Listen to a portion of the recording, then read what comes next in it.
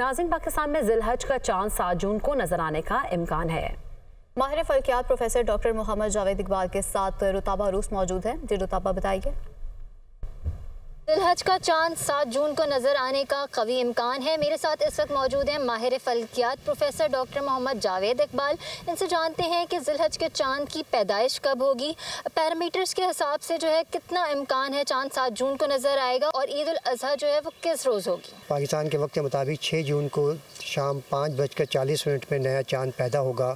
सात तारीख को जब सूरज गुरूब होगा तो चाँद चूँकि छब्बीस घंटे चालीस मिनट पुराना होगा तो इसकी चौड़ाई भी एक नुमाया होगी। चाँद का जो अल्टीट्यूड है, वो तकरीबन 12 डिग्री 40 मिनट है।